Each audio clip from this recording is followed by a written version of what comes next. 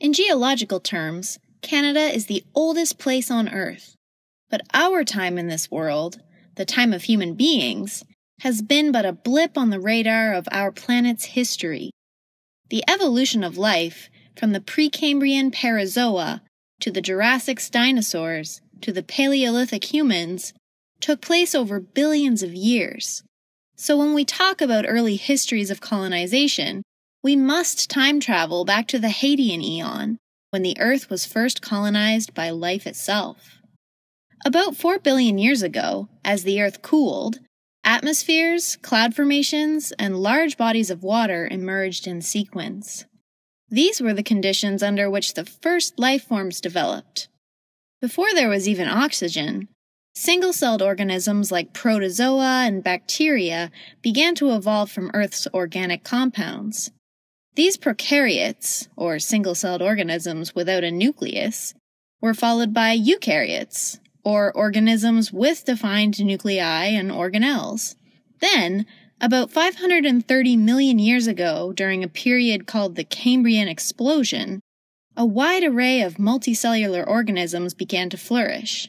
During this explosion, the evolution of life accelerated at an unprecedented rate giving rise to more complex organisms like mollusks, arthropods, and fish. From there, terrestrial life such as land animals, plants, dinosaurs, mammals, and flowers followed suit, most of which died off during one of Earth's several mass extinction events.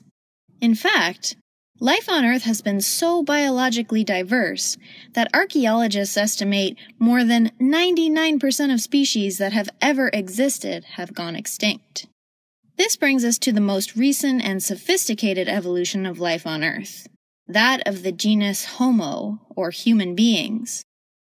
The earliest species of human, Homo habilis, evolved in Africa during the early Pleistocene epoch, about 2.5 million years ago.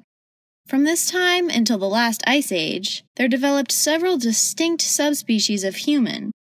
There were Homo sapiens in Africa, Homo neanderthalensis, or Neanderthals, in Europe, and Homo erectus in Asia.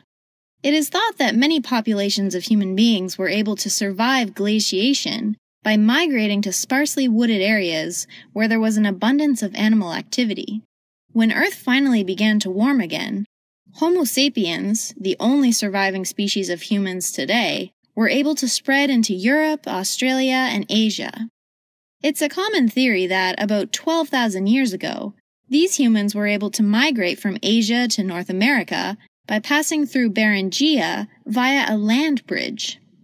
Although the first colonization of planet Earth was by life itself, the wave of early human migration across the Bering Land Bridge is what led to the first true settlement of North America, or as many indigenous groups call it, Turtle Island.